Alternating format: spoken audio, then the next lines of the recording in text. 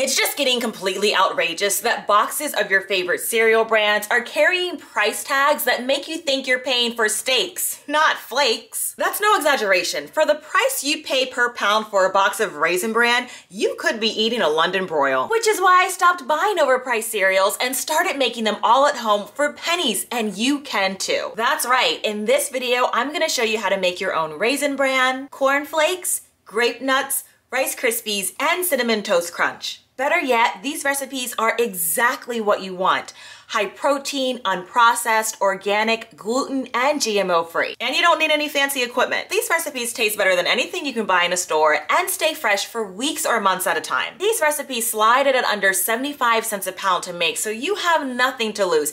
And you could be recouping an extra 20, 40, or more dollars a month of your grocery budget. Now, I know some of y'all will need extra convincing that you or your family will truly enjoy these homemade cereals, which is why I'm showing side-by-side -side comparisons of each of the breakfast cereals we'll make, and later on, I'll give you my recipe notes for modifications you can make to suit your taste or dietary preferences. Other than these boxes of cereal I just bought to convince you to start making your own cereal, I haven't purchased box cereal in like seven years. Once I realized I was putting a whole chicken in my cart for $1.29 a pound or 8 cents an ounce, or a chuck roast for 12 cents an ounce, but realized that the per ounce price I was paying for a box of cereal was nearly twice that, I quit commercial cereal. First up, let me show you how easy it is to make your own Raisin Bran. Raisin Bran, a cold cereal staple made with bran flakes and raisins, has shrunk from a 25.5 ounce box to under 17 ounces in recent years, but I'll show you how to make over a pound for just a few cents. In a large bowl, combine equal portions of whole wheat flour or almond flour if you need a gluten free option, and bran. Substitute rice or oat bran if you're avoiding gluten. Next, add ground flax, a pinch of salt, and stir to combine. In a separate bowl, mix your wet ingredients, which include a few tablespoons of molasses, maple syrup or honey also work, a bit of avocado oil, and water. Give things a good stir to combine, then slowly strain the liquid into your dry ingredients, holding back some initially. You'll want to mix until a sticky dough begins to form. It should look like this, but add more liquid if you need to. On a large flat surface, lay a dish towel underneath of your greased baking tray, which will keep your tray from sliding once we use the roller in a bit. Spoon the sticky bran mix onto the tray and start to spread it out around with the back of your spoon and then cover it with a large sheet of non-bleached parchment paper and use a rolling pin to roll out the dough. Now, if you want a very thin bran flake, you'll need to roll out the dough very, very thin. If you have some bare spots, that's okay, but the thinner you spread it out, the more it'll look like box cereal flakes. I actually prefer mine to be a bit thicker and have a clustered granola type of shape. It's really up to you. Once it's rolled out to your preference, remove the parchment paper and then bake the bran flakes for 45 to 50 minutes or until completely dried out and crisp. Remove the pan from the oven and let it cool. Here's what our bran flake sheet looks like. When you can handle the bran, break it into small, bite-sized flakes. Here's the thicker version that I prefer. And here's a bran sheet that I rolled out very, very thinly using less batter. You'll want to go this route if you want a much lighter, crispier flake. Listen to that crunch.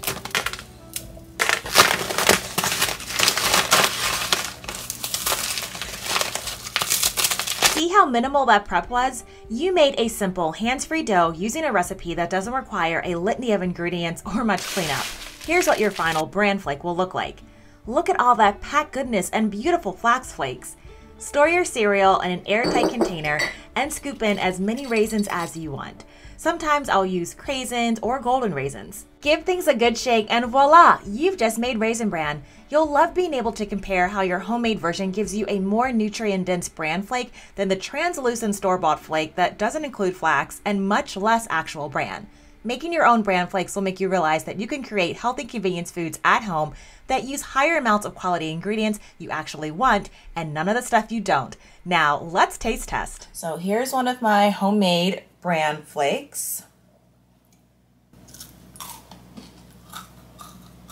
Crunchy and very chewy.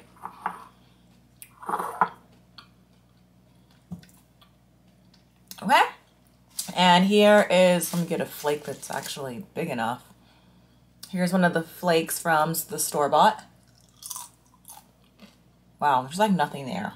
there's like, there's like no texture there. The homemade brand, it is, there's this natural sweetness that is just, oh my goodness, so savory. The flavor is in the homemade one versus the Raisin Bran is just, I mean, it's, it's nothing. I mean, you're not even missing the raisins not having sugar on them because I don't know. I think it's just a cheap little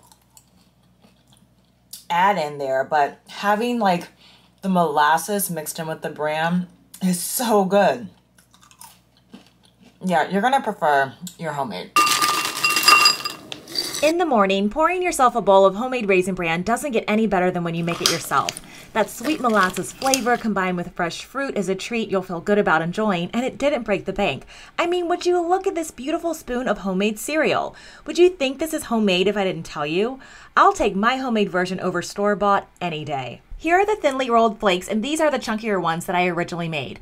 I just wanted to show you that you have options when it comes to creating the bran flake size and texture you prefer. Now, to get the chunks into smaller granules, I usually transfer them to a food safe bag, then cover it with a towel and give it a few whacks with my cast iron skillet so that it'll crumble. If you're a Grape Nut cereal fan, you're going to love how simple and delicious this recipe is to make at home. Grape nuts are delicious, but yikes, look at how teeny tiny this package is. And this cereal always has a markup. I'm not sure why because grape nuts are made from wheat and barley. In this recipe, we're going to use steel cut oats, which are also referred to as oat groats and are the least processed form of oats that lend a robust flavor more than your other oats. First, place the oats in a bowl and cover with water because we'll need to soak them. Allow the bowl to stand at room temperature overnight or at least 6 to 7 hours. The following day, preheat the oven to 300 degrees and drain off any residual water. Most of it will have been absorbed and it'll look and smell like cooked oatmeal. I like to use a colander fitted with a bowl to catch off the water as I rinse the oats. Once thoroughly rinsed, your oats will look something like this. Transfer your oats to a bowl, then take unrefined coconut oil, melt it, and pour it over the oats. Next, sprinkle a few tablespoons of coconut sugar, which is a plant-based sweetener that has a super low glycemic index, so it won't spike your blood sugar, but you can substitute brown sugar or maple syrup. Then you'll sprinkle in a bit of salt and stir everything to combine. Then spread the oats in an even layer over a greased baking sheet and stick it in the oven to bake for 15 minutes.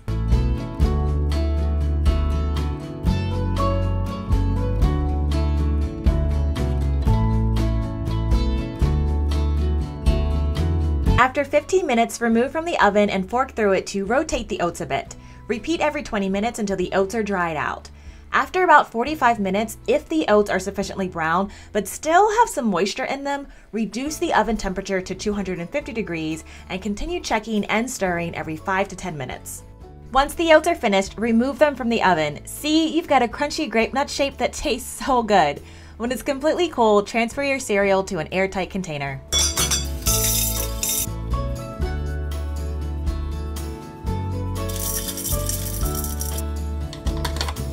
Let's compare our homemade cereal to store-bought grape nuts. I'll pour a cup of each into a bowl.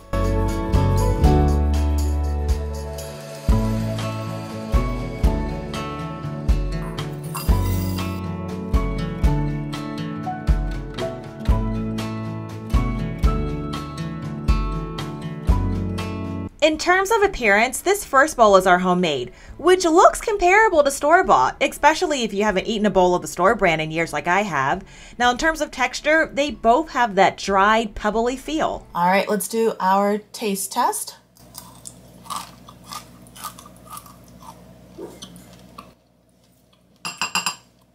Yeah, really good crunch.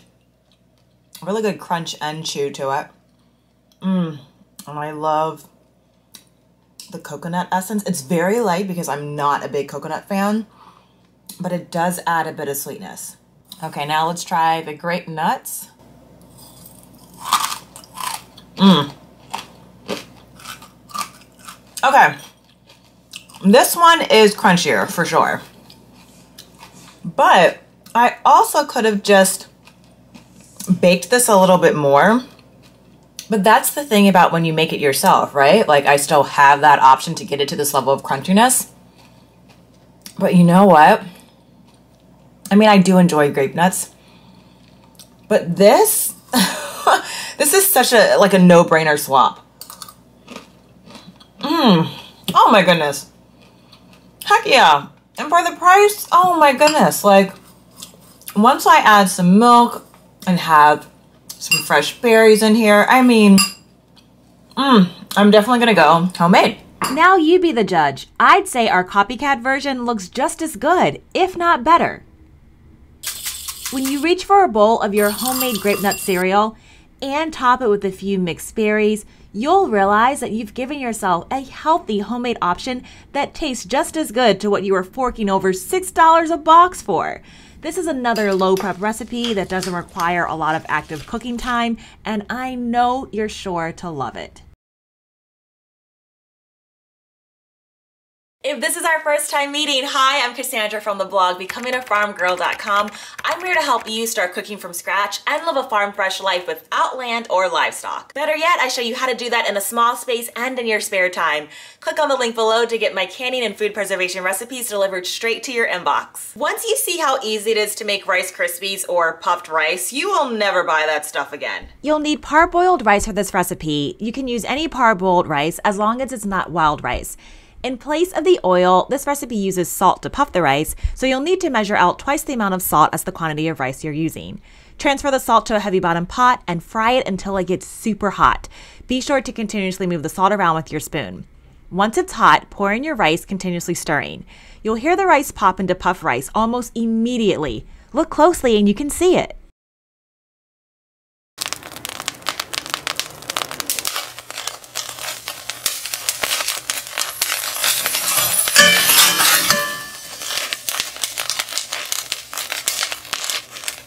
Remove your pan from the heat and use a colander with a bowl underneath to separate the salt from the rice. This will leave you with the salt that you can reuse for your next batch in one bowl and your puffed rice in the other. Look at that beautiful puffed rice. In case you were wondering, you use salt to conduct heat across the rice instead of oil. It flavors it a bit too, but let me assure you, this does not come out salty or tasting like salt at all. The flavor is still very neutral and plain.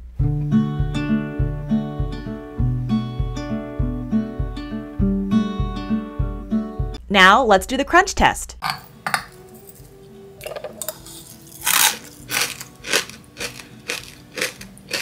I have a few freeze-dried apples on hand that I'm going to add to this container. If you aren't used to using freeze-dried foods, here's a close look. This apple has excellent sweet flavor and a crunch that'll pair nicely with this cereal. Store-bought Rice Krispies have tons of sugar, and I like that I completely avoid that in my homemade. I plan to pack this container in my work bag to have as a snack.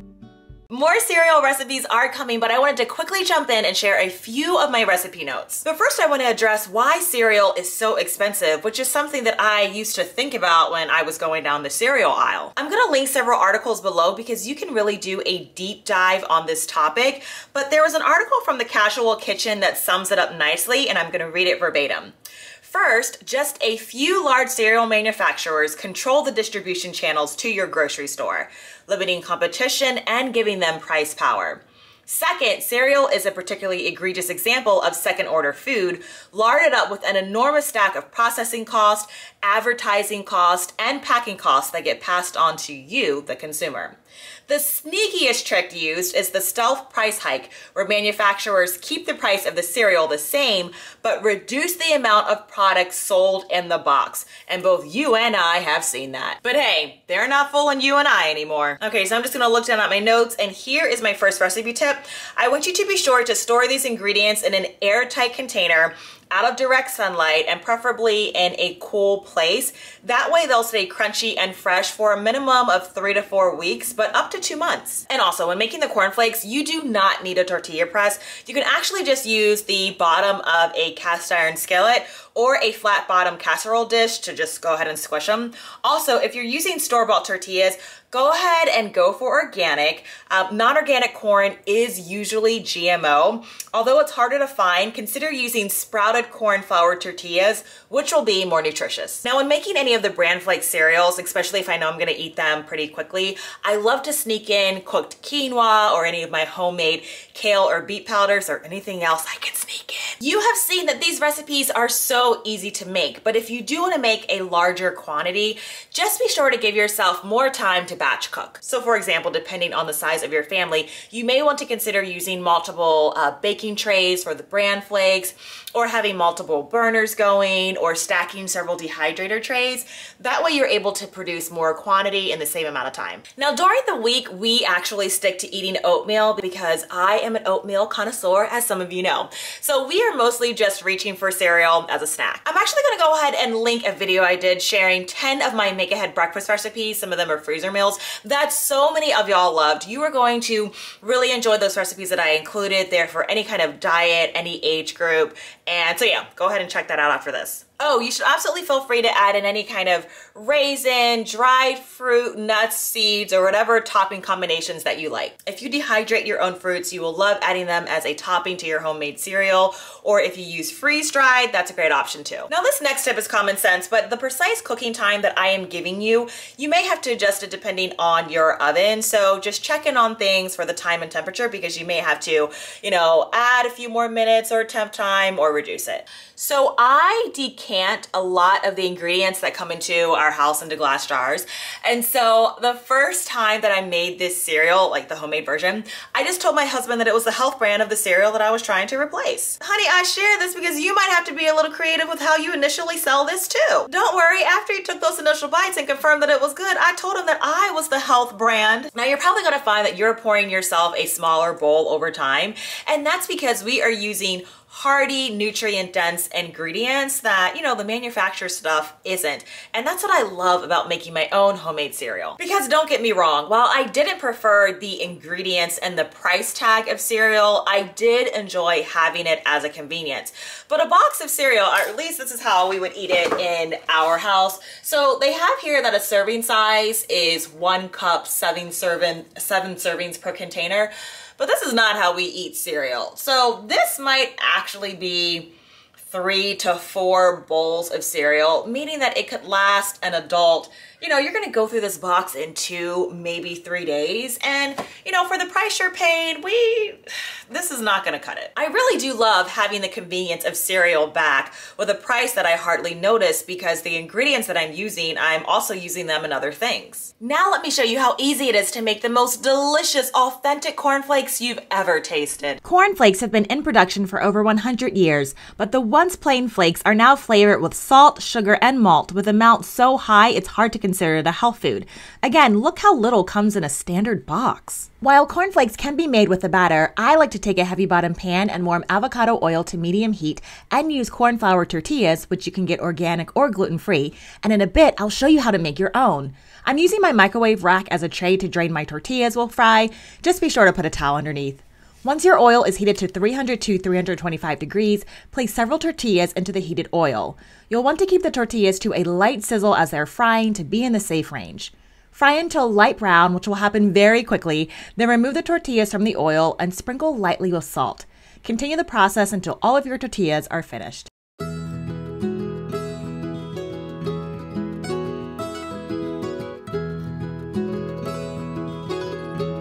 When the tortillas are cold to the touch, break each of them into small bite-sized pieces and store in an airtight container.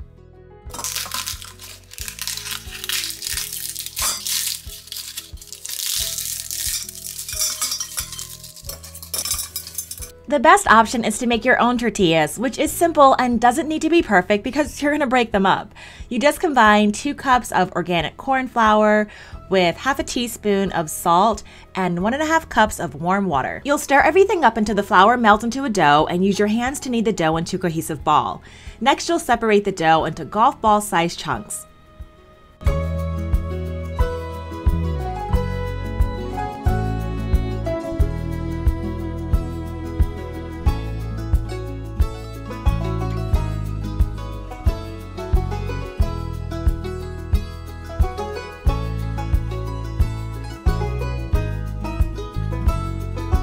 I thrifted this authentic vintage made in Mexico tortilla press a few years ago, and because it stores so easily in my small kitchen and is simple to use, I love how quick it makes shaping all of my tortillas to the perfect size. After that, you fry them up, being sure to initially flip it after one second, then cook on each side for about a minute, or until light brown spots are forming on the underside.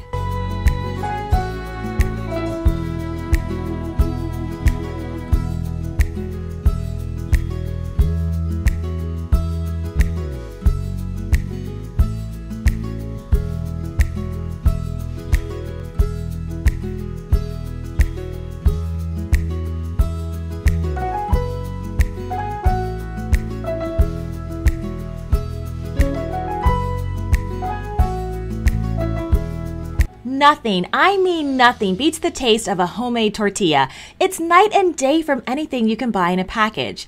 Now, since these have already been fried, I'll just place them on my dehydrator racks to dry them out and get nice and crispy. Several hours later, you'll have crunchy corn chips. Now we'll measure out one cup of our homemade and store-bought to compare the results. So let's go ahead and do our homemade crunch test. Mmm. Perfect crunch. And I love the real corn flavor. Mmm. This is really good. Okay. Now let's go ahead and do the store-bought.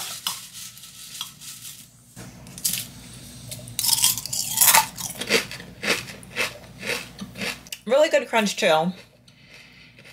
It's more of like a sweet flake but store-bought cornflakes, like there's that taste on the end, but it's not, like corn isn't the first taste that comes to mind. Yeah, it's more of like a sweetness, but not like authentic corn flavor. I mean, it's good, but it's definitely kind of flat compared to like more of this um, layered flavor that you get in your homemade version. I like to eat my cornflakes with very ripe bananas, so I'm adding a few slices to my bowl. The sweetness from the bananas is all the sugar I need, and I'm so happy my homemade version doesn't contain any. Ditch the sugary, plain tasting cornflakes and make your own savory flakes right at home. All right, so here's a little cheat cereal, Cinnamon Toast Crunch, but at least it's not full of empty calories. Sometimes I'll stick a loaf of clearance bread in the freezer and save it to make this recipe. You can also use stale bread too. Start by cutting off the crust and cut the bread into small cubes. Oh, grab a bowl and save those crusts because we're going to use them.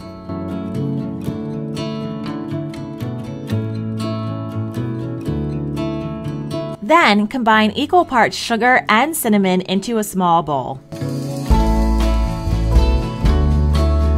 Heat some butter in a nonstick pan and toast the bread.